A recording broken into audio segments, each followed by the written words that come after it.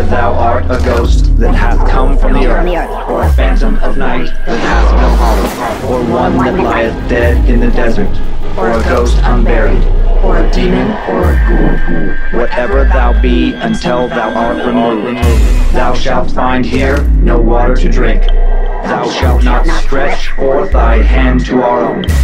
Into our house enter thou not. Through our fence break through thou not. We are protected, though we may be frightened. Our life you may not steal, though we may be scared to death. Welcome back to Scared to Death, Creeps and Peepers. I'm Dan. Hi, I'm Lynze. Thanks for listening, or thanks for watching us on YouTube. Watching. I didn't watch that opening today. I am No, you already. closed your eyes. Yeah, I'm already freaked out. I I was envisioning a um. What you do is you think about Mm-hmm. a white light or a golden light all around you, protecting you, Uh-huh. and that it's all about intent. Okay. And so, oh, I, I just stabbed myself with my amulet that's on underneath my dress. While you were thinking about that, I was thinking about demons. I wanted a break. Uh, we appreciate all the ratings as well. Thanks for continuing to give those. It helps us stay in the charts, helps us find new creeps and peepers. Yes, you guys are the best. Thank you, thank you, thank you. New subscribers uh, to uh, you know uh, Bad Magic Productions on YouTube, so that's been fantastic. Super awesome. We're, we're proud of the the video quality that uh, producer Joe puts out every week, I know Joe's the best, and we get a lot of compliments on that. So thank we you do. guys so much. and uh, it was fun to meet some uh, creeps and peepers in Grand Rapids this past weekend. Yes, I had my first like intimate moments with some fans of just Yeah. like, oh my God, I love it so much. How are you? Are you okay? Like all the things. Mm-hmm. It was amazing. So thank you. Thank you for my presence. we we were there for some. Uh, I had some stand up shows and uh, had a live uh, Time Suck podcast, and then you know some scared to death fans. There's a lot of crossover. Yes. Also came to that show and just you know unprompted, even like yelled out "Love scared to death," and that was really cool. So Yeah. appreciated very much. Thank you. And appreciate all the stories uh, sent into my story at scared to death podcast.com. Last week's story, I think, was scarier than 80% of the stories I've presented. Yeah, we like got that really freaked me out. Yeah, we got a lot of emails about that. People had a lot of questions about like, oh my God, did it happen? Um, you know, we've Mm-hmm. opted to keep the name um what's the word I want? Anonymous. Anonymous, thank you. Uh so people were like, Oh my God, did you research it? Is he really in jail? Like, it's for real, as as real as any other story that we present here. Yeah, and that's all these stories is, uh, you know, somebody's firsthand accounts, sometimes multiple accounts, multiple eyewitness accounts. Sure. But, Well, uh, that well, that woman and her kids. I mean, that's multiple eyewitnesses as far as I'm concerned. Right? That's what we heard. So, eek. Eek. So keep sending those in to my story at scared to death podcast.com. And for all the other things, if you have something that you want to tell us, uh, you know, if you want to send us a nice compliment, Yeah. which happens, Yeah. uh, you can send all of that to me directly at info at scared to death podcast.com. That's where you can reach me Mm-hmm. directly. Otherwise, our fantastic helper, Heather, will get back to you about your stories so that I stay sane.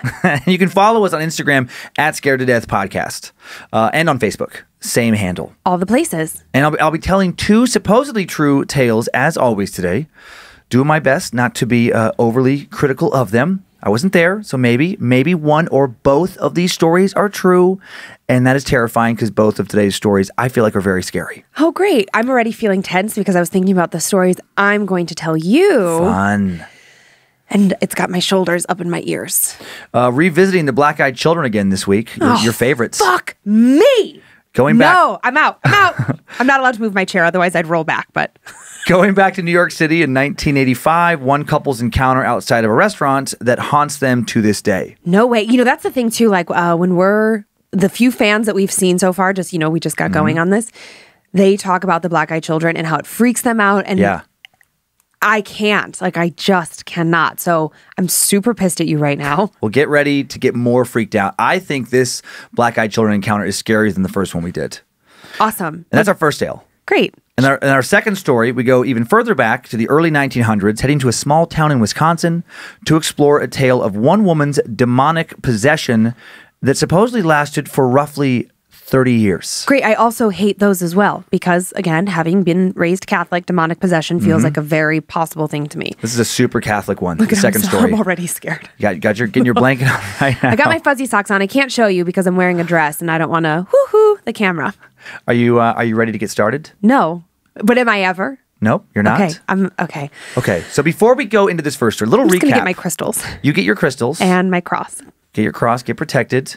A little recap uh, about Lynze's favorite monsters, the black eyed children. Oh my God. Wait, can I tell you really quick? I know we try to get right into it. There's somebody that follows me on Instagram Mm-hmm. that is, uh, I can't remember their handle name, but something to the effect of black eyed children. Oh, wow. And it's a creepy, creepy picture of a black eyed child. Yeah. And they make the creepiest comments like, Ooh. Don't you think we're Oh, real? Oh, yeah, I have Do you know who that is? I don't know who that oh, is. I don't know who it is. Whoever you are, you're scaring the shit out of me. I'm sure that'll get them to stop. I'm sure, Oh. I'm sure they won't Oh, double yeah, up of their course. They'll be like, comments now. oh, poor thing. I'm screwed. The black eyed children are paranormal creatures or demons or aliens, uh, or I guess some combination of all of the above, perhaps even cryptids. Some think they're vampiric in nature. And they typically resemble human children around the ages of 6 to 16. They almost always have pale skin. They always have pitch black eyes. And they give whoever they encounter, they seem to kind of show up out of nowhere, a powerful and palpable feeling of dread, anxiety, good old fashioned fear. The black eyed children generally, but far from always, are spotted at night. They typically show up in pairs. They speak in a way that makes them come across as something pretending to be a human child or human teen instead of an actually young human. They don't seem to speak in the lingo that kids speak in at the time. Uh, they usually show up asking to be invited into somebody's home or vehicle. No way. Why do they need to be invited? No one knows. No names were attached to the following black eyed children encounter stories, so I have assigned the name of Wendy for the woman and Mike for the man for narrative purposes. You ready? Wendy and Mike. Wendy and okay. Mike. I'm glad because I don't know any Wendy's. Here we go. Time now for a tale I'm calling What Do They Want? One night, early in the winter of 1985, a young woman, Wendy, was on a date with her then fiance and now husband Mike in Manhattan. The two lifelong New Yorkers, an accountant and a school teacher, went out to eat frequently, and they'd been to this restaurant in particular numerous times before. And nothing out of the ordinary ever happened until this night. This night, they had just pulled over shortly after the sun had gone down. They were parking around the corner from the restaurant when they both suddenly heard someone knock their knuckles against the car's front driver's side window. Already not happy. Mike finished putting the car in park. They both looked back and saw two teenage boys in hoods standing outside on the sidewalk. They didn't necessarily look scary, but Wendy immediately felt a fear unlike anything she had ever felt before. Her hands started to shake, something she had never experienced before. The fear felt instinctual, a primal level of fear. She was petrified and she didn't know why. Mike and Wendy both noticed that the two boys looked especially pale. Wendy thought they looked stoned. Why was she freaked out by the sight of two skinny, stoned teenage boys? She told Mike she wanted to leave, but he wasn't about to let two creepy kids ruin the dinner he'd been looking forward to all day at one of his favorite places to eat. God damn it, Mike. Mike opened the car door, and the two boys stood back to let him out. He'd planned on just ignoring them, walking into the restaurant. Wendy did her best to compose herself, told herself she was just being silly, opened the door on her side of the car, and got out to follow him. Oh, Wendy. When she turned around, she looked at the two boys, and in the dim streetlight, they looked as though they had nothing but black pools where their eyes should be. Just two large patches of black, no other color at all. She'd never seen eyes like that before. There was something almost hypnotic about them. She didn't want to look into their eyes, but she also had a hard time looking away. Her hands, which had just stopped shaking, began to shake all over again. We need a ride in your car, one of them said to Mike. Mike had turned his back to them while he was locking the car door. He hadn't seen their black, shiny eyes yet. Well, he replied, you're shit out of luck. One of the strange, pale, dark eyed boys kept talking as if he had not heard Mike's rude response. He said, It won't take long. We're just young people who need a ride. Get the fuck out of here. Referring to themselves as young people bothered Wendy. She grew even more nervous. What teenagers called themselves young people? It felt like two old men had jumped into these teenage bodies. There was something wrong with them. Something very wrong with all of this. Mm-hmm. Her husband, Mike, a big man and a hardened, ball busting New Yorker, said, uh, you know, to the uh, two kids who were he was now facing after having locked his door, well, shit. Sounds like you better take the subway. He still hadn't noticed their eyes. Mike then started to walk towards the back of the car where Wendy stood so they could walk together towards the restaurant. As he walked past the two entities, they suddenly started to scream, Invite us into your car! We can't enter unless you invite us! Mike turned back and was about to get into one of these things' faces when he saw their eyes and froze in his tracks. Any thought of a confrontation of any type quickly left his mind. The color immediately left his face. Wendy had never seen Mike react like this before. He was not normally afraid of verbal or even physical confrontation, but this was not normal. This scared him. Mike sidestepped away from the two black eyed children and moved towards Wendy. The frightened pair moved to the back street side of the car, putting the vehicle in between them and these things. They both watched as the two boys continued to scream and shout, You need to let us in! One of them yelled, pointing directly at them, trying to command them, We have to see our friend! Mike and Wendy now quickly headed towards the restaurant, backing away so they could keep the two black eyed teens in their sights. They then turned around the corner of the building, nervously walked another 50 or so feet to the restaurant's entrance, and asked the doorman if he'd heard the two boys yelling. The doorman was totally confused. He hadn't seen or heard the boys that had just confronted Mike and Wendy, even though this had all taken place only about a hundred feet away. Oh shit. Mike and Wendy didn't know what to do. They didn't they did know they were not ready to walk back around the corner and see if those things were still there. So they decided to have dinner, some drinks. They both thought, hoped, this would be the end of it. When they left the restaurant, Wendy asked Mike to walk ahead of her when they left and check the car. Make sure those things weren't anywhere near it and there was no sign of them anywhere. Wendy was left completely terrified for days afterwards. She didn't sleep very well. She had lots of nightmares, lots of headaches. A week later, she began to dread even going to bed. It seemed like every time she closed her eyes, she would see those two black eyed children. I know the feeling, Wendy. Every time she opened her eyes, she was worried they'd visit her and Mike again. What if they appeared outside their front door? What if they appeared in their bedroom? Ugh. Wendy was scared to leave the house. She felt violated as though those things had attacked her. Yet they really hadn't done much other than scream, shout, and act, well, weird. But still, the encounter haunted her nightmares, panic attacks, sleepwalking headaches, fear of seeing them all over again. All in all, it lasted for a few months. And then, right when things were starting to calm down, she asked Mike how he was handling what they'd seen. They hadn't discussed it since a few days after it had happened. Mike didn't want to talk about it. Mike now confessed that he'd been keeping something from her. Oh my god. He said he'd seen them again. he hadn't wanted to tell her because of how scared she was already. Shit.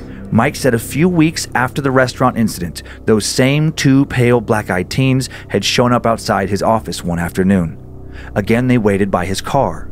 They did the same thing they'd done outside the restaurant, demanding to be taken somewhere, demanding to be led inside his vehicle. When Mike told them he was calling the police from his office, the kids didn't seem to care. They yelled at him and again demanded that he take them to a specific address, to a home in a suburb in New Jersey, to visit their friend, who they said could help them. Mike went back inside his office building to call the police. Right before he got a hold of an officer, he peeked out a window and saw that they just vanished. When Mike told Wendy all of this, she wrote down the address the black eyed children had told him, intending to go check it out. Why did they want to be taken there? What was so important about this address? But she never did check it out. They were busy. Pretty soon, it didn't seem to matter. Then the years went by, and she thought about it less and less and less. Pretty soon, a few decades had gone by, and then Mike and Wendy stopped thinking about the black eyed children altogether. And then just a few years ago, after they finally both retired, they decided to move out of the city and they bought a home a short train ride away. While moving in, Wendy came across an old box full of keepsakes from years past, and in this box, she found a little scrap of paper with an address on it. it was the address the black eyed children had yelled at Mike. And when she looked at it, chills ran down her spine. She screamed for Mike to come look at it. When he saw it, his face went white. It was the address of the home they had just moved into. Mike and Wendy live in this house to this day, and every day they worry about seeing the black eyed children again. Every time the motion detector light goes off in the driveway, Wendy expects to hear a knock at the door, afraid that when she looks out, those two boys will be right there, staring at her with their soulless black eyes, demanding that she let them in. And that's it. So the piece of paper was the address, like, That address that they yelled in that parking lot, Is the house that they address moved they into? demanded to be taken to, those like like like thirty over thirty years ago, that's the house they moved into. is the house they ended up moving into. Fucking sell that house. That's a massive GTFO. right, I agree. I agree. And Come u- on. usually, usually I don't on those. I'm like, no, there's rationale. I'm like, nope. I- Nope. If, if I uh, and if I find something like that, absolutely moving out, putting it up for sale. We can take the loss, apartment, rather than just wait night after night in complete fear that those little sons of bitches would show back up. Oh, you're mad at them, those little Oh my sons of bitches. Oh my God. Uh, okay, so for people who haven't seen on the YouTube, let's get some pictures of these Oh, things. I really don't want to do this. I know. First picture of a black eyed uh, kid. that is a black eye. That's a In kid with a black eye. In fact, Uh, next picture of a black eyed kid. Now, that, that's a guy that came up when I was looking. That's a homemade eye patch. And I just thought it was hilarious. it is hilarious. I like the funny ones. Let's get another one up there. Another black eyed kid. Uh, oh, that's the real ones. Oh, that's the ones that are supposedly real. oh yeah. Yeah, creepy, right? Oh my god. So God. creepy. Creepy. Bitch. That was that was from Joe to you. Thank you, Joe. Oh, You're welcome. Oh man, but that uh, yeah, the, that that story when I read about it, it was the ending that really got me. It was the ending Right. that really gave, gave me the chills. Oh, yeah. In my mind, I just keep. I'm like, it can't be real. It can't be real. It can't be real. Like I just. Right. Mm, Maybe it's not. Maybe it's not. Maybe it is. I don't know. I'm still always afraid that they're going to show up at my house. Right. I mean, have you ever seen Black Eyed Children? No. How mad would you be if when you I were? know where you're going. where am I going? You're going to send somebody with uh, black eyes to like visit me on the road or something. Yeah. I know. I think about that too. What a great What if- practical joke. What? if- What if you just got a at oh your my god! In a weird hour. yeah at, at your That's a- hotel door? I, That's a I joke worry I'd be about, afraid like, to do because of like the person getting shot. That's a joke where it's like, do you have a gun in a hotel room? well, no, I don't. Okay, so I guess in the hotel, that's true. In the hotel room, pew pew. pew pew, maybe a handgun, just like a literal handgun, like my hand is as a gun. Oh my god. Yeek. I Yeek. just I what I worry about is you being so mad at me for ruining your sleep.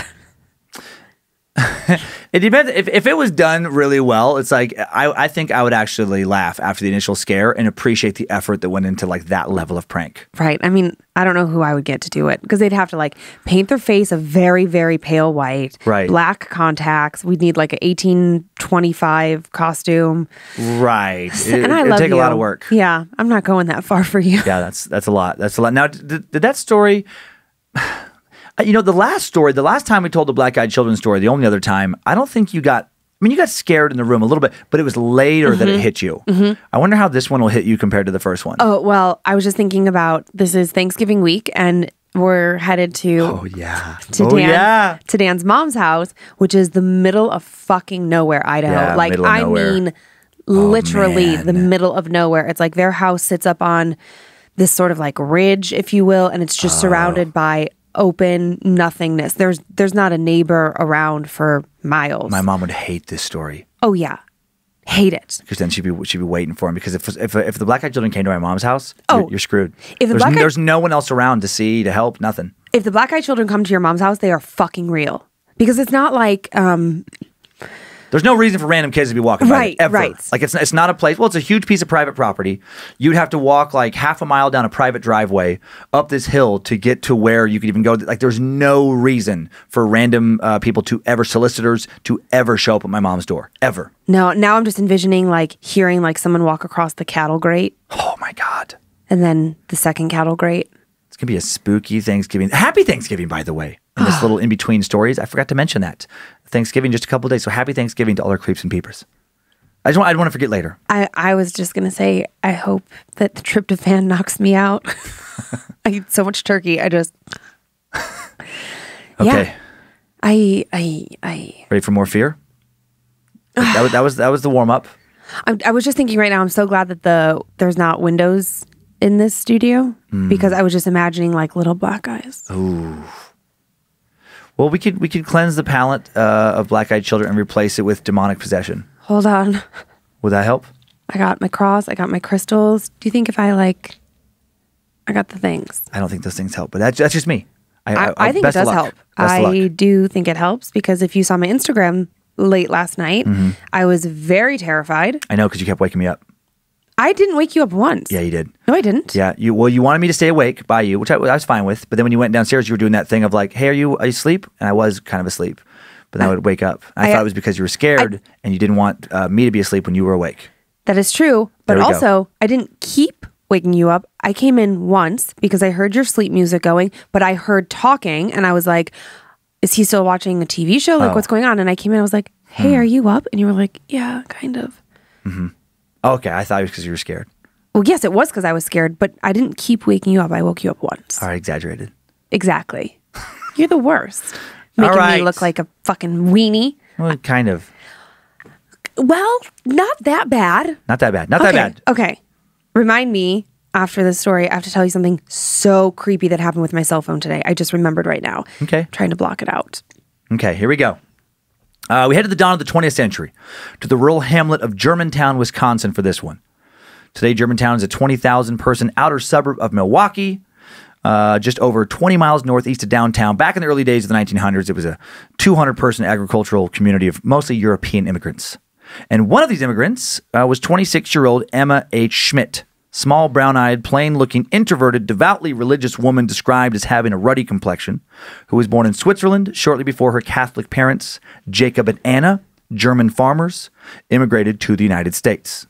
Her family wasn't able to afford a farm of their own when they first arrived in Wisconsin, and young Emma had to work in some small factories in various small Wisconsin towns back in the days when almost everyone had to work. Emma was deeply religious, and the religious mockery she heard from other workers bothered her greatly. By the time she was a teen, her parents had left the Catholic Church themselves. Uh, shortly after that, her mother had died, and she frequently argued with her father and brothers about their, you know, hedonistic lifestyles, or non-religious lifestyles. She was very religious, very pious.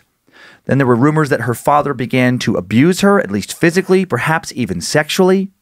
Her father also rumored to, to have had an affair with her aunt, Minnie, a woman locals believed to be some sort of witch, actually. It was well known in Germantown that J- Emma herself, again, was deeply religious. Her faith was more important to her than anything else. The church was her safe space, if you will, her sanctuary, a place where she could escape her father's abuse and vision a better life for herself. Sometimes she'd attend both afternoon and evening services on the same day. She was so committed to the church that she began to dream of becoming a nun. She even turned down a local love interest marriage proposal, which was not a common thing to do in the area at the time. And then, seemingly out of nowhere, Emma, in her mid 20s, suddenly underwent a dramatic personality change. Time now for the tale of the exorcism of Emma Schmidt. Emma suddenly despises the one thing she had always loved her religion. Notes from her local parish's priests state that Emma suddenly began to fall into strange trances where she would become animalistic, speak in feral grunts. She would also speak in strange voices and uh, what sounded like other languages. She'd suddenly destroy religious objects, vessels of holy water, smash crucifixes. She even confessed to wanting to strangle her priest. The previously especially modest and even puritanical young woman also began to commit what has been described as unspeakable sex- sexual acts. Word reached a bishop in Des Moines, Iowa, Thomas Drumm, concerning Emma's possible possession, and he contacted a 39 year old Bavarian born priest and demonic specialist, Theophilus Xavier Riesinger, better known as Father Theo, a priest based in Marathon, Wisconsin, 165 miles north of Germantown. Father Theo had previously performed many exorcisms when he had worked in New York City. The church had actually removed him from New York because of these exorcisms. He'd failed to have, uh, you know, enough witnesses verify what he had seen. There was uh, speculation that he may be making it up. Certain higher ups in the church wondered if it was actually possessions, and not wanting to be embarrassed by some kind of bad publicity surrounding his exorcism, they'd essentially banished him to rural Wisconsin. However, others in the church did believe in Father Theo, believed he was a talented exorcist, and one of those believers was Bishop Drumm. Father Theo traveled to Germantown at Drumm's behest and followed the Roman ritual, the church mandated process designed to differentiate possession from illness or fraud. I am not so easily convinced that there is a possession, Father Theo had once explained to a reporter in the Milwaukee Journal in a rare interview. Hundreds of persons have been sent to me by priests and laymen who believe that there is a possession. Usually, I find otherwise. Father Theo could immediately tell that Emma was not someone who was going to fall into the otherwise category. He didn't think illness, mental or otherwise, was behind her recent behavioral changes. He thought demonic forces were responsible. When he began the Roman ritual, Emma spoke in voices that didn't belong to her, voices that didn't seem as if they could possibly come from within her. Some of the voices coming out of Emma spoke in English and German, the languages she spoke, but Father Theo and other attendants present also documented that other voices, and there were so many different, distinct, disturbing voices, understood and spoke Italian, Polish, Latin, Hebrew. Emma couldn't possibly understand these additional languages. Her formal education had stopped early in elementary school. She had no access to anyone else who spoke all these languages back in Germantown. She had never, to anyone's knowledge, studied or exhibited any knowledge of knowing these languages prior to this recent possession. And it wouldn't be just voices alone that would convince Father Theo that Emma was possessed. During the ritual, Emma was witnessed by everyone present to actually levitate up into the oh my air, God. Fly across the room, slam into a wall, and then fall to the floor where she seemed pinned down by unseen forces. Four priests, all working together, were unable to lift the petite, five foot seven inch woman, just 135 pounds, off of the floor. She was unmovable, impossibly heavy. Unnatural weight has long been associated with demonic possession.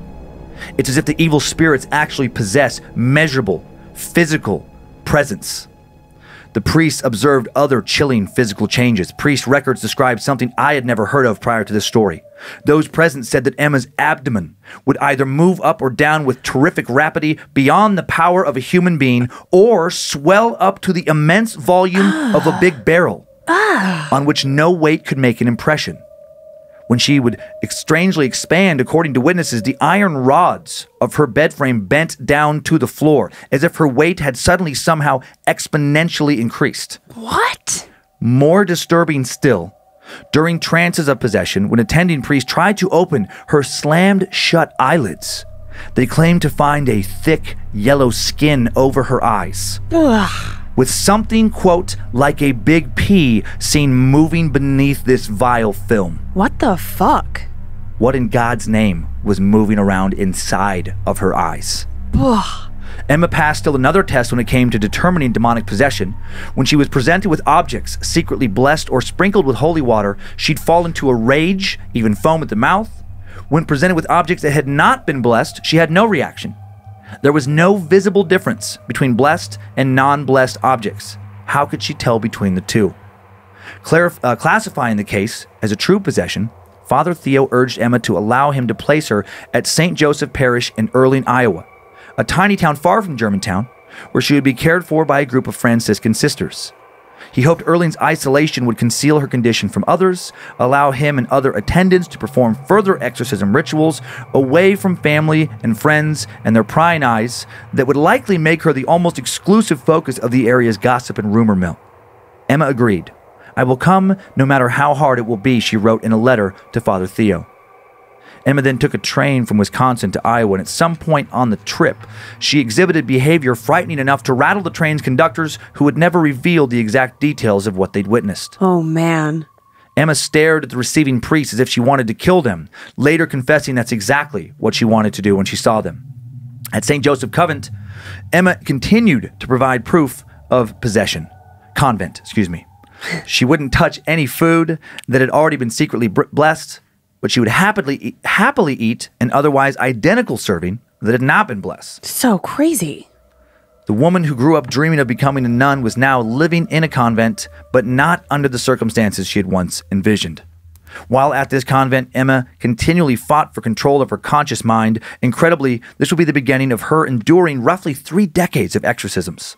That's insane.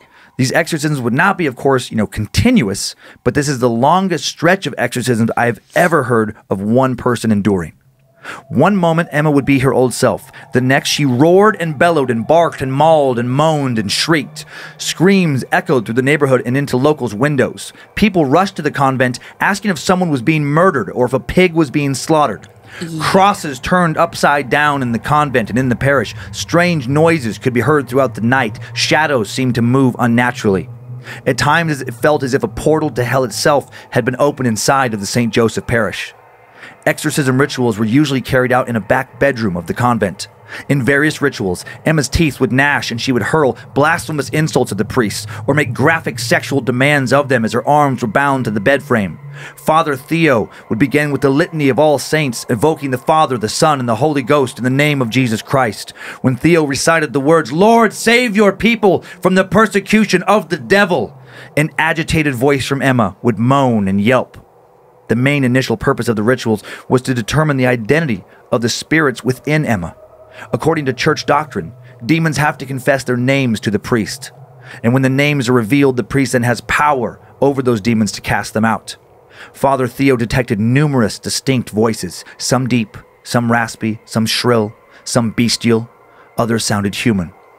Theo was intrigued when he first heard a feminine voice that was not Emma's. Initially, it had all been male voices. Is there a woman here? Father Theo asked. Yes. I command you to tell me your name, replied the priest. My name is Minnie, Minnie, Minnie. Answering in threes, common among the voices of the malicious spirits inside Emma. Are you living or dead? asked Theo, according to his detailed transcripts. I am dead, said the voice. Minnie again had been Emma's aunt on her mother's side, believed by the townspeople to be a witch, a woman known to have been a mistress to Emma's father, Jacob, possibly his mistress while her sister, Jacob's wife and Emma's mother, was still alive. Ugh. Father Theo began to believe that Minnie was the one who had made Emma vulnerable to possession. By interviewing Minnie's spirit, he hoped to discover the key to cleansing her from all this demonic activity. Are you damned? he asked Minnie's spirit. Yes, I am damned, she hissed. Did you give something to this girl? The priest prodded, by, we- by means of which the relation of this girl to the devil was established. I have done that, the voice answered. Father Theo concluded that Minnie had poisoned and enchanted Emma in some way while she was still alive that had somehow created a type of condition in Emma's body, which gave the spirits, as they interpreted it, a satanic right to enter her. For a time, Father Theo was worried that the demons inside Emma would kill her. She occasionally would stop eating entirely for days and then would get so weak she would have to be carried back and forth to the site of the exorcisms. Once it all got so bad she had to be force fed by the convent's nuns to stay alive. Father Theo tried to remain positive throughout all of this and kept his faith that God would spare her. This woman will not die, he insisted. This manifestation is only one of Satan's cunning tricks. He cannot and will not be permitted to kill her. At night, some of the priests helping with the exorcisms started to experience their own demonic torment, as did the nuns. Oh dear. During the height of Emma's initial exorcisms, several would claim to be awakened in the middle of the night by strange scratching and gnawing sounds in the walls of their rooms. They would continue to hear some of the various voices from Emma's exorcisms taunting them. Multiple observers noted that during the initial exorcisms, the demonic voices speaking through Emma were particularly hard on one priest, Father Steiger. Oh. In one session, one of the demons threatened him directly, yelling, You will suffer for this! Just wait until the end of the week. What does that mean? That Friday, Father Steiger nearly died. He had to drive several miles to visit a sick parishioner that Friday afternoon. While driving back later that evening, by his own account, a black cloud suddenly appeared around him, swallowing his car whole before it reached a nearby bridge that spanned across a deep ravine. It suddenly seemed as if Father Steiger's eyes had been blindfolded. He could see nothing outside the car. He tried to stop his car, but instead it accelerated into the darkness, smashed through a trellis, busting through the barricade, leaving the car dangling halfway out over the ravine, wobbling as if just the slightest extra bit of pressure or weight would send Father Steiger to be smashed against the ravine floor. Oh shit. A farmer who heard the crash rushed over, steadied the car enough for the priest to crawl out. Steiger went to a doctor to get checked for injuries and then headed straight for the convent, furious with the demons inside of Emma. As he entered the room, she defiantly stared at him with a menacing grin. It was as if she expected him to walk in the room at that very moment. And a deep voice from within her laughed and yelled, Be ready for a whole lot more fun, priests. What? That's what was documented. No way. Father Steiger, shaken and legitimately afraid for his life, would take more of a background role from that point on with the exorcism proceedings, and would eventually excuse himself entirely from future exorcisms. Uh, yeah. Shortly after this incident, a new male voice could be heard making guttural sounds. Who are you? asked Father Theo. I am Judas, spoke a particularly ominous voice from within Emma. Father Theo demanded to know what Judas's intentions were with Emma, and Judas told him to bring her to despair so that she will commit suicide and hang herself. She must get the rope. She must go to hell. Multiple attendants claimed to have witnessed this exchange. In between draining exorcism sessions with Father Theo, Emma would feel like her old self, and there are records of her describing what she felt during the exorcism proceedings. That's crazy. She claimed she never had any memories of what you know she said or did during these exorcisms. It's like she would get lost inside of herself, lost in what she felt uh, was hell itself. My body, she would say, feels as if it's filled with fire. I am enveloped in dark night as in a cloud. Very many devils are present, hissing in all directions and like flashes of lightning. I see their heads with their fiery eyes. Two gigantic serpents are above me. Emma also described a vision of a battle in which Lucifer, Beelzebub, her father Jacob directed legions of devils against St. Michael, the fight growing fiercer and fiercer. After contending with the voice who identified itself as Judas, Father Theo, who was also confronted with the spirit of Emma's deceased father, Jacob Schmidt, the man believed to have abused, possibly even molested his daughter Emma. Theo asked, What do you want to do here, Jacob? The voice screamed, I want to lead my child to hell. Jesus. Theo yelled back, You are in hell, but your daughter will never will never go to hell with you. As the intense exorcism rituals dragged on from weeks into months, Emma's case began to attract interest from Father Theo's superiors, both in the Midwest and back at the Vatican. Father Theo was now claiming that Emma was possessed by legions, a multitude of spirits, a number Theo would eventually tally as being in the millions. What? It was as if her body had become a conduit to the underworld itself. Church officials were approaching all of this, of course, with extreme caution. The administration of Pope Pius XI had severely restricted authorizations for who could perform exorcisms. Father Theo himself had already gotten into trouble for performing unauthorized exorcisms back in New York. Many within the church were finding the reports of Father Theo's interactions with Emma to be impossible to believe. None of them heard, had heard of anything quite like this. Some suspected group hallucinations, or that Father Theo, Emma, and everyone else involved were outright scamming them. Father Theo had to prove his case. He could be defrocked over this. And to the church, you know, he did prove his case, bolstering his position in regards to not making all of this up were many eyewitnesses, including Father Steiger, who went on record verifying what they had seen. Also, a Milwaukee based physician was brought in to study Emma's trances. He concluded that whatever afflictions she was suffering from had no known medical basis. The doctor also observed and verified Emma's knowledge of many languages she had never learned. Several other witnesses also wrote affidavits uh, attesting to what they had seen, backing up many of Father Theo's accounts. Could all of this be actually true? It strained credibility. And then Emma's spiritual situation became even more incredulous. How? Suddenly, through Emma, Father Theo found himself discoursing not with just uh, just with voices claiming to be evil legions, but suddenly with divine spirits as well. Emma, or the voices speaking through Emma, started to deliver speeches and preach sermons that far surpassed any theological understanding that one could reasonably expect from a layperson. Multiple priests, in addition to Father Theo, began studying Emma and concluded that her historical, theological, and scriptural knowledge could not have been acquired naturally, given her background and education. Father Theo and many others in the church began to consider Emma to be a Christian oracle of sorts, What? A powerful vehicle through which spirits can be communicated with both good and evil. This is insane. And one of the prophecies professed by one of the good spirits through Emma is believed by some to have saved Pope Pius's life back in the Vatican. Roughly two decades after Father Theo's first exorcism on July 16, 1931, around 7:30 p.m., the unimaginable happened.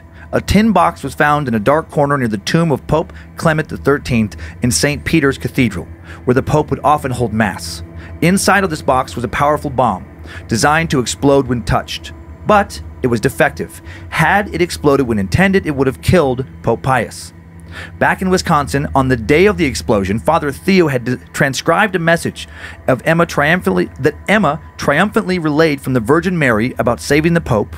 It said, "My servant, your confessor, gives me joy, and I am pleased with his work, namely that for my honor, the welfare of the church, and the salvation of souls, so many devils have been cast into hell."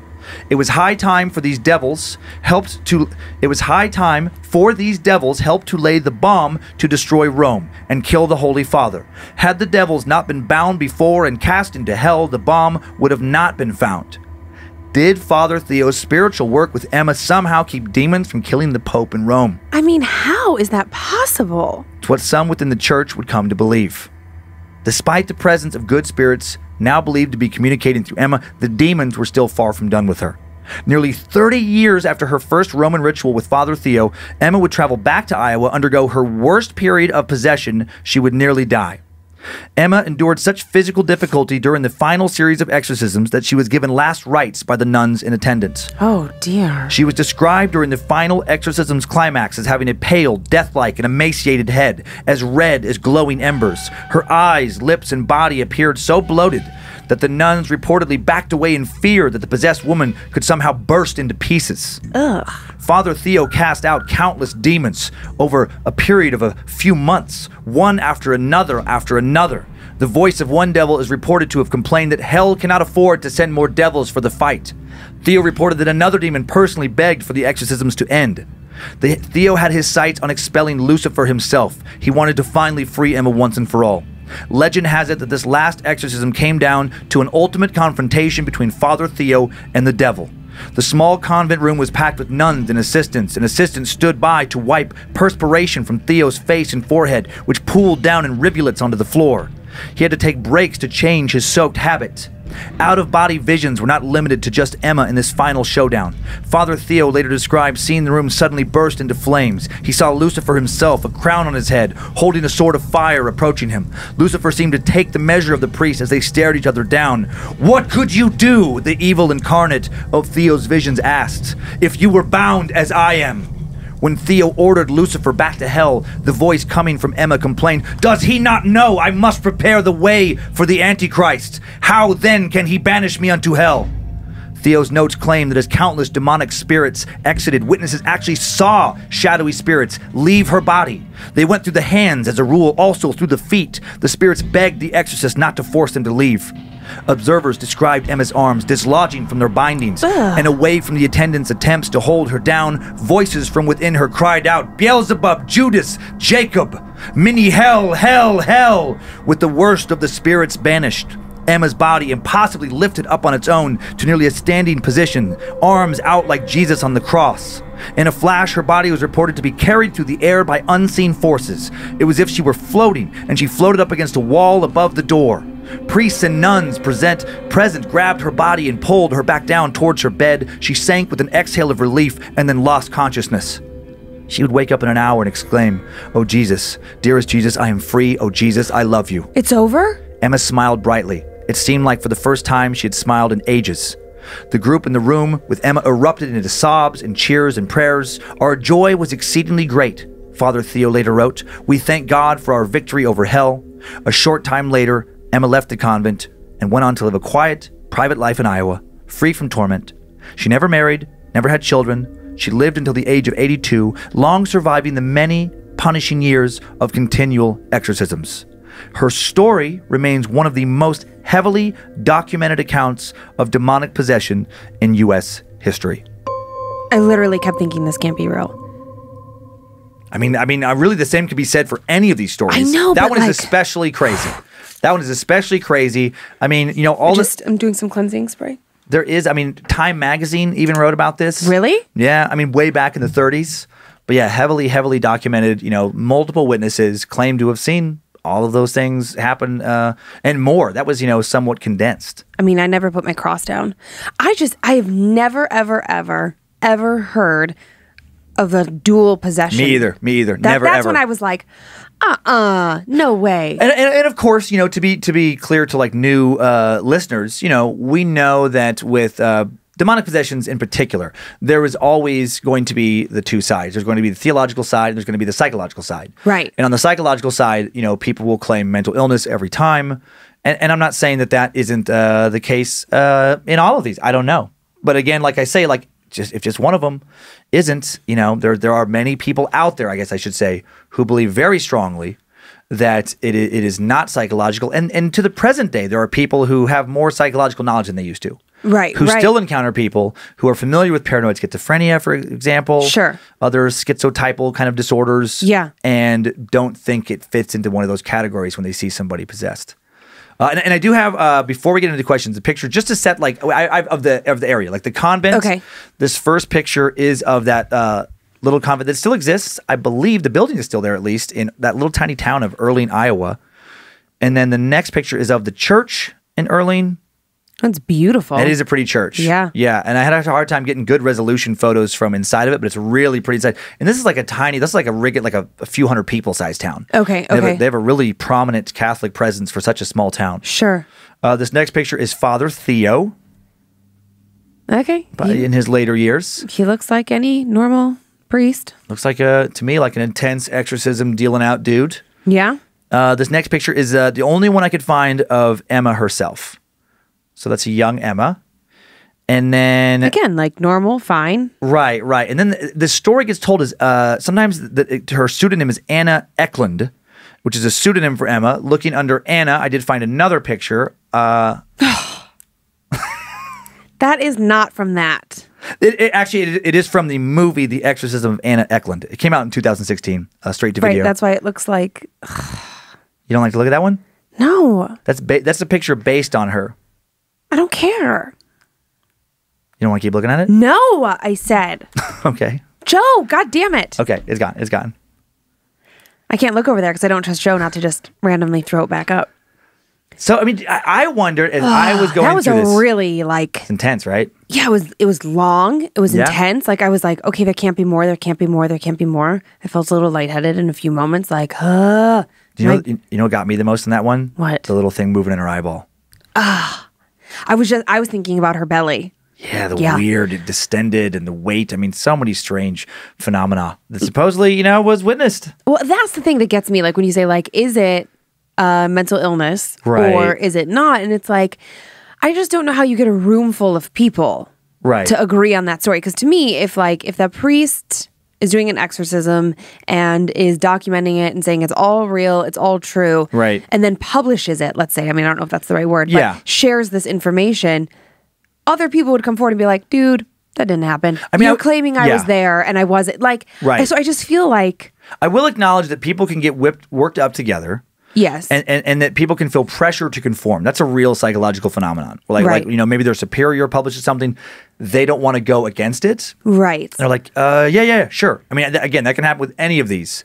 But like I always say, I mean, what if that happened? But there was I just wasn't there. so yeah, and it, there was a lot of people involved.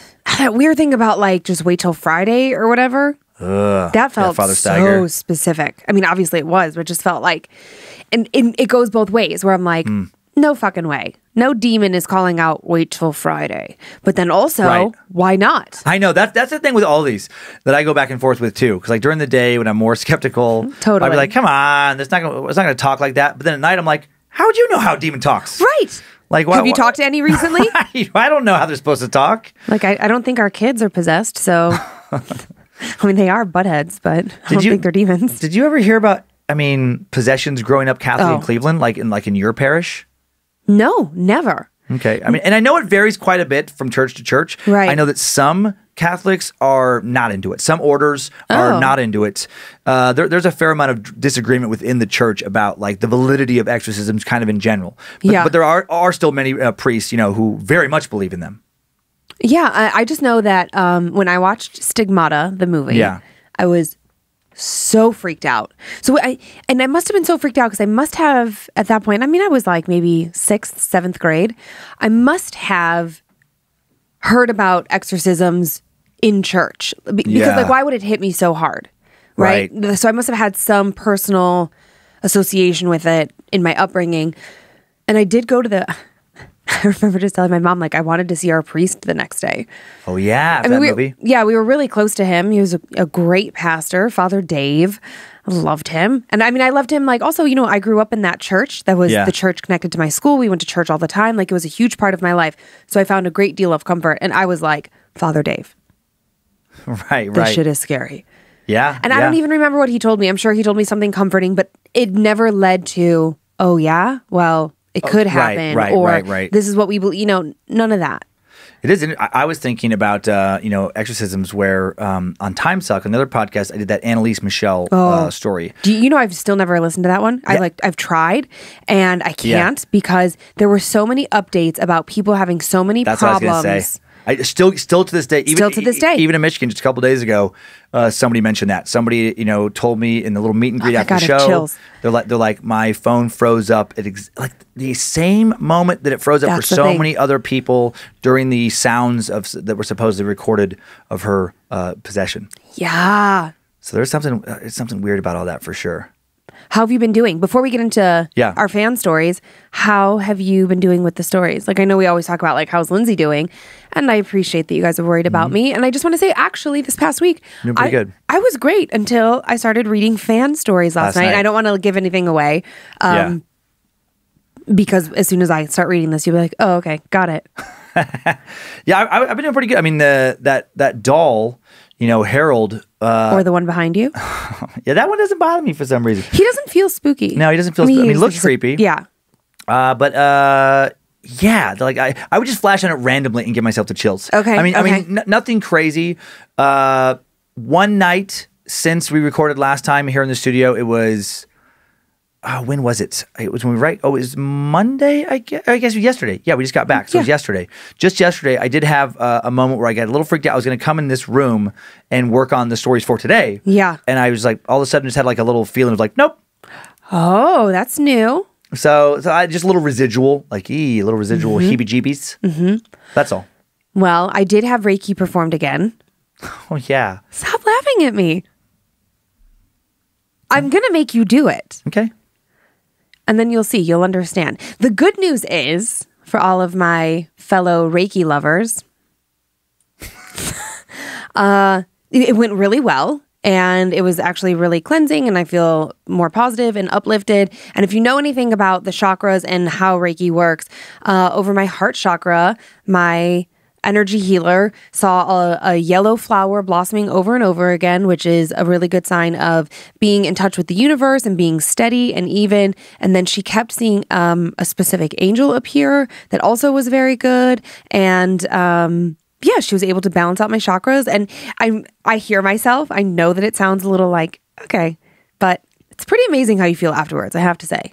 I stopped listening when you when you said you saw a flower. I just waited for it to be over. Why are you such an asshole? I'm know. I, I'll see. Oh, you know what? I know. I'm skeptical, but but the show. I'm gonna set it up for you over over the Christmas break. You have a little break from touring from stand up, and I'm gonna have you go. And it's it's. I get it because if I hadn't experienced it and someone was telling me this, I'd be like, okay, sure. But every time, like my arms literally feel like they're on fire. Like you can't, you can't fake that.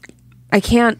And for it to happen two times in a row, and this time was different than the first time, so it's not like. Yeah. And she's not touching me, and and we laugh about it too. Like I was telling her, I'm like, you should wear a GoPro camera on your head because you probably look like a fucking lunatic when you're doing this. Because there's a lot of like, Yeah. hand motion, wax on, wax off kind of looking stuff. So, you know, at least the person that I'm going to has humility and Yeah. and some some laughter about it. Cause it's yeah, like, yeah, yeah, yeah. True. I think that anybody with anything, when you go so hard in one direction, it's too much. Right, right. Yeah, So- I'm open to seeing uh, what it what it is. Yeah, for sure. Do you want to hear about the creepy thing that happened today? Yeah, on your phone. Yeah. Um, so I use voice text a lot, right? Like I'm getting ready, whatever. I've got a lot going on. And I was texting one of my friends this morning about something and I stopped talking and I didn't hit the button for it to stop recording. And then words step st- st- started st- kept going. Ooh, what was the word saying? Well, that was the weird thing. It said, catch me, catch me, catchy, catchy, catch me, catch me. And I was like, that is so random. That that's Creepy. Okay. And then I was texting Kyler. You were taking him to school, and I needed to remind him about something. Yeah. And I stopped talking, and it because I did it on purpose. I'm like, okay. I was curling my hair, and the curling iron cord was like hitting against the cabinet. So I thought, like, I don't know how that noise would Yeah, cause words. that is crazy. Yeah, But then again, with Kyler's, I stopped talking. It went catchy, catchy, catchy, catchy, catchy. weird. And I was The like- catch stuff. Yeah. God, I, for, I, for, I, that weird? That is weird. Is there a spirit that wants to be? I don't know. I, I wasn't thinking it was actually catch. I was thinking Kathy. Is there a Kathy in our house? Weird? I don't know. I don't know any Kathys except for Kathy Tucker from the sixth grade, who I don't know anymore. That just reminded me. I totally forgot. I keep getting messages like from myself. It's a weird thing. Are you being serious right In the, now? mes- in the messages, it keeps saying Joe and his family will be taken into the pits of hell. I, Producer Joe and his family will be taken to the pits of hell, and then it'll be like a little dash, and it'll be signed Satan. I was. And I forgot to mention that to Joe. I thought you were going to say something like, "My wife will give me more blowjobs." Oh, ha! Ah, I could have went in that direction. oh man. Man. I just I just assumed that's where you would take it. Are you ready? I'm ready. I'm ready. Okay. Do you have your squishy? Yeah, I got my little stress doll. I'm gonna have a little Ugh. sip. Okay, you have your little sip. I'll prepare for fan sent in horror stories. I'm starving, which is why I was chugging drinks this morning. I'm so hungry. Are you ready? I'm ready. Okay. Now I know last week was incredibly creepy, and these are creepy as well, but a different kind of creepy. Okay. Um, I didn't really want to tell these stories because both of them take place really close to our house. Fun. So that's fun, and that's why I mm-hmm. was super freaked out. Hey, Dan and Lynze, this is one of many strange occurrences that have happened to my family when we were living out in the woods. About three or four years ago, my wife and I and our young son lived on a five forest, forested acre parcel up a dirt road off of Garwood. I know you said you don't want to hear about anything creepy happening in Coeur d'Alene, Lynze, which is why I had to send in my story. Thanks. For those of you who don't know Garwood, it's only a few miles north of Hayden, which is basically part of Coeur d'Alene. So it's just north Okay. of where we are. I know exactly where it is, and I'm already creeped out. I was born in Coeur d'Alene, and my wife is from Spokane. Actually, you know my wife's sister, Brittany, and her man, Cameron, who recently gave you a neon ba- banana sign. Oh, yeah. Yeah, we do know them. Anyways, the house is about half a mile up a dirt road, and the woods get pretty thick out there. But the first 30 or 40 feet into the backyard only had about five large trees. One night, we were lying in bed watching TV, and for whatever reason, the blinds were up and the curtains were open. As I'm sure you know, having the windows open with lights on inside and darkness outside is one of the most uncomfortable and creepy feelings one can have, especially when outside there is only a deep, dark forest. Mm-hmm. I can't remember if it was me or my wife who noticed it first, but one of us looked out the window, which was literally right next to our bed, and saw a very tall, skinny, humanoid shape standing next to the nearest tree to the window, 20 feet away at most. The moon was out and it was bright enough to make it clearly, although we couldn't see any features like an eyes or mouth. It was facing our direction and it had two skinny legs, two skinny arms, a bulbous head, and what I would guess was about six or seven feet tall. Ugh. It looked exactly like what you would think a gray alien would look like. I swear to God, it just stood there staring at us until we closed the blinds. We made sure all the windows and doors were locked, and for the rest of the night, we just talked about what the hell we may have just Oh my. God. The next day, I woke up. I immediately looked out the window to see if, in the daylight, it would show me something that our minds were just playing a trick on us. Right where the thing was standing the night before, there was absolutely nothing. By the way, this was not the last time we saw this creature while living out there, but that's a different story. About a week later, the family who had lived in the house prior to us came by for a visit randomly. Their six year old son had told us uh, the six year old son had told us that our bedroom used to be his bedroom. And what he said next was a shock to both of us. He asked if we had seen the alien yet that comes out at night What? and stands next to the tree and looks into the window from the backyard. Our freaking jaws dropped as my wife and I looked at each other. Anyway, we lived out there for about two years and have experienced a few strange things, a couple of which scared the shit out of us. But now we're back living in town.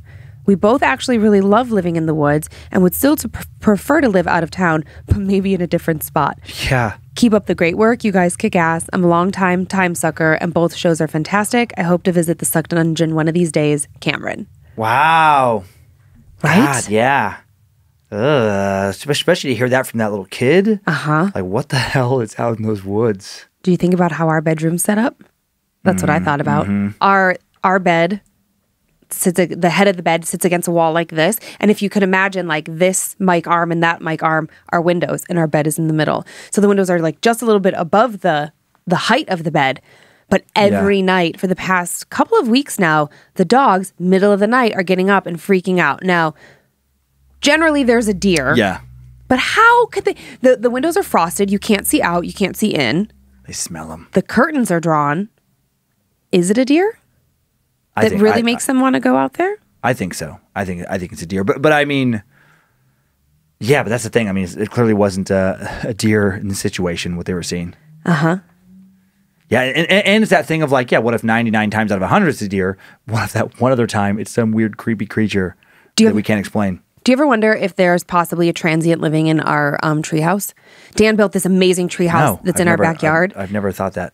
oh, I think that every time I have to let the dogs out, when you stand at the back of our house and you look out Yeah. to, to the left, we have this tree fort. It's like what, ten feet up off the ground. Yeah. and I mean it's it's a it's a tiny little house. Yeah. and the door is painted black with like that chalk paint, Mm-hmm. and so it just looks like a an abyss in the evenings. Like Oh, just looks like a dark right. hole. And I swear to God, I constantly wonder like, what if that door just opened right now? Oh my God. What if someone just popped out? I'd never thought of that, but now I will. You're welcome. I mean, if I was homeless and I, I saw would that, yeah. I'd be like, fuck yeah. That place has carpet, beanbag chairs. There's probably some scraps of food the kids have don't left don't up there. get any ideas if you're in the area because if I find you, it's not going to be good hanging out in my kid's treehouse. well, the door is always locked, and we have guns, Yeah, and no one knows where we live. true, true, true, true. Lunatic. Okay. Are you ready for one more story? I am. I mean, since we were already in our backyards, Okay. I just thought, let's just keep it there. ru- run with it, Yeah, okay. let's, let's just go with a little theme this week. So this story comes from Rathdrum, which is just about 15, 20 minutes, again, from the Coeur d'Alene Oh, yeah. area. Mm-hmm. Not far at all. This fan writes in, let me just start by saying I'm a huge fan of the show. I love what you guys are doing. I've turned so many people onto it already. Yes. Yes, thank you. My coworkers and I listen together every Wednesday morning. A couple weeks ago, Lynze mentioned that Dan was going to tell a story from the Coeur d'Alene, Idaho area. And well, I'm a resident of Kootenai County, and I do have a true scary story that takes place in Coeur d'Alene, uh, in the Coeur d'Alene area. I'm excited to share this with you guys. I think this is good. So, about four years ago, we threw a huge horror themed surprise party for my niece who was turning 18. We had fake body parts all over the food, a zombie shooting game, and a DJ playing horror music. Cool. Yeah. The whole thing ended with one last surprise a Slenderman scavenger hunt in my brother's four acre backfield where the teenagers would go out after dark and hunt for the eight Slenderman pages that I had made and placed on the property Oh, so myself. like, so like illustrations of Slender Man, probably. You know, there, um, yeah, just to like, so that the rest of the story makes sense, there is a, Sorry, I was telling you guys there's a game Yeah. of Slender Man. You have to collect the pages. Exactly. Oh, got it. Thank you, Joe. Okay. thank you, Joe. I was prepared to explain that. But yeah, okay. I okay. jumped the gun. I jumped it. Just like Dan, just I, because. I'm so Ugh. sorry. But yes, but that's all I know. Okay, Okay. okay. So I don't know what the pages. I don't know if they're images, but you just you collect these things, and in the game, it um, you have a certain amount of time to find them, and if you don't Oh, find them, you die, and then you start Okay. over, and then if, you collect all eight, then you get to like walk around the game for a little Yeah. bit without Slender So they're doing the real life version of this. exactly. Very they're bringing cool. to life. Yeah.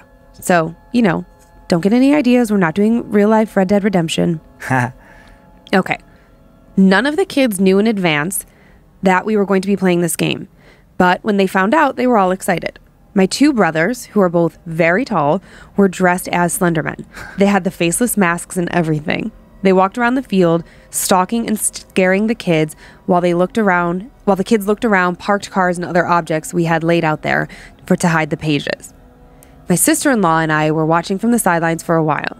Everything was going fine until my sister in law said she saw someone running out behind their house, which was separated from the scavenger hunt by a fence. I joked with her about having too much wine, but she was done after that. She didn't want to be out there anymore, and she went to bed. Everything seemed to go on without a hitch, and the next morning I dropped by the shop to help my brothers clean up the mess. And that's when I found out things didn't go quite as well as we had expected. My brother had asked me who else was dressed up in that black outfit during the night during the hunt. The reason they asked was that they each saw another Slenderman in the field. Oh my God. So I messaged one of the teenagers asking how many Slendermen were at the party. Guys, I was expecting her to write back two because there were only two. My brothers, she wrote back four. Four. Later, the kids would tell us that the two extra Slendermen were chasing them around all night or hiding next to them, terrorizing them. None of them mentioned it because they all thought it was part of the game. They didn't know that my brothers were chasing after the other two Slendermen as well. But every time they'd get close, the two extra Slendermen would dive into the grass and would seem to just disappear. That night, my nephew also claimed to have seen someone in his room. My sister in law managed to convince him that what he saw was a combination of toys in his room and just a bad nightmare. But my brother, who goes around the house every night and checks all the doors and windows to make sure things are locked tight, couldn't help but notice that his son's bedroom window was wide open the morning after the party. Oh my God. We asked around for a while, hoping we could find an answer. At first, we thought maybe some of the kids were just screwing around, but no one else knew that we were going to be playing this game except my brothers and I. Whoever was back there terrorizing everyone also had the Slenderman mask on because they had no face. It's been nearly four years, and we have still never figured out who was back there when they shouldn't have been. And that is my true story out of Kootenai County. Thank you both for doing the show. I love it so much. Lynze, stay brave and keep it going. You guys are one of the highlights of my week, and I want to see the show continue for years to come. Wishing nothing but the best for you both. After all, who doesn't love being scared to death? Signed, a fellow creep, A. oh, thank you, man. That one gave me the chills. Right? Yeah, that would. Oh man, that would stick in my head. I would just reflect on that off and on. I mean, continually. I was thinking that like I could probably only play that game when I was young and 18 and like loved horror things, you know, because Right. I don't know, the older you get, it's just like how when you're younger, you're fearless in the Sure, sense that sure, like sure, sure. you'll go snowboarding, you go skateboard, like you'll do other things, and now you're like, ah, shit, I don't want to miss time off work. What's the insurance Yeah. bill going to be? And you're also just um, You're more conscious of your mortality, I think, as you get older. exactly, you actually physically become more uptight about those kinds of things. Where you're like, Mm-hmm. meh, I'm good. So like that seems like exactly the kind of game a bunch of 18 year olds would play. But in my mind, I was like, why, why would you do that? Why would you go out there? I wouldn't do that. I would just be like, no, I'm good. I'm good. And then I'd watch everybody else be fucking freaked out. Yeah, I just keep thinking. I mean, I would, I would be just harassing people. Like, are you sure that you weren't dressed up? You know, you Oh, yeah. sure you didn't tell a friend? Would you line up all the kids? But that's the I thing know. he said that the I kids know. didn't know, I ahead of the party. Right, right, right. So I would think it was like my brothers or something. Right. But if they're constantly saying, but I mean, oh my Four god, years. Like, would you be able to hold on to a joke for that long? I don't know. Probably not. No way. I would feel bad because I would feel like someone's probably not sleeping, Right, right, right, right. Yeah. and I would want to give in to them to help them feel some sort of peace and whatever. And again, just just the thought of like, what if that is Eek. true? What if some entities were like, here's our chance to sneak around Well, that's the and thing. be part of the fun? That's what I'm thinking. I'm already flashing back to the black eyed children. It's like, Oh my gosh, what was yeah. what was that about? Like, you have to be invited in. I don't. Yeah, exactly. That's that's that's, that's what they say. Uh, basically, every Black Eyed Children story I've come across, and there's quite a few. It's it's all based around like this concept of yeah being invited. They all want to be either let in. I mean, again, usually a vehicle or a house, but they want to be let into your space. And yeah, I don't know. Who knows why? Uh, I keep thinking about that first story. I'm like, why? Why did they want to be taken to that house? Like, what was going on in that? Right. It's just so weird. So weird. All of it's so weird. Maybe somebody died at that house. Maybe, or maybe they were trying to get the people there so they could harass them further. Well, there's people. There's people who believe within in this world of the paranormal Yeah. that there are places where the the barrier is substantially thinner between this world and others. What do they say about Coeur d'Alene, Idaho? I've never heard anything about Coeur d'Alene, Coeur d'Alene being Is some supposed vortex or portal. Is that where the barrier's the thickest? Is that why we're I'm, here? I'm going to say it's pretty thick. I'm, I'm, I'm gonna hope it's nice and thick. Please, I like thick borders and I cannot lie. I mean, but seriously, Yeah. that, that's all I think about. Like this, I know I'm going to be fucked up. I'm going to be fucked Oh, up driving great. to your mom's. When we drive, like Dan's mom lives here in the Mm-hmm. middle of fucking nowhere, and then his grandparents also live here.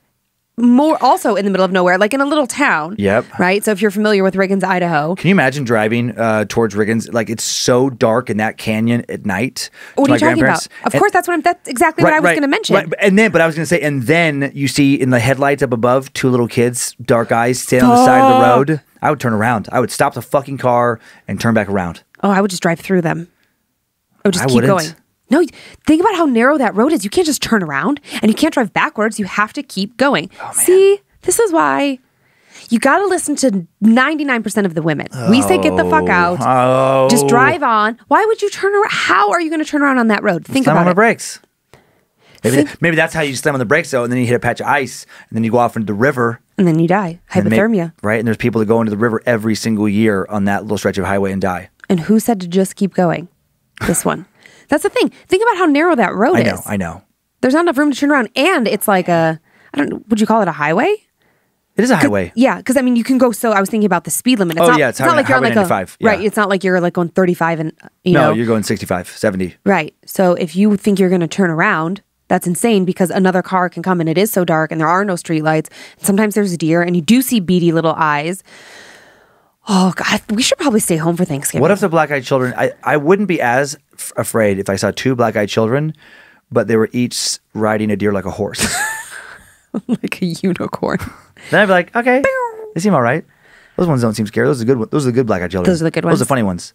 Those are the protectors. Oh man. I don't know. Oh man, oh man, oh man. Are you excited for Thanksgiving? I am excited for Thanksgiving. A lot to be thankful for. I should, uh, you know, just really quick, just like we are thankful for so much this year with uh, Time Suck and Scared to Death, the people spreading these shows around, letting us do this as a as a job professionally, making us, you know, want to work harder. And then now that we've, you know, been working hard on these for a while, getting to spend more time with the family.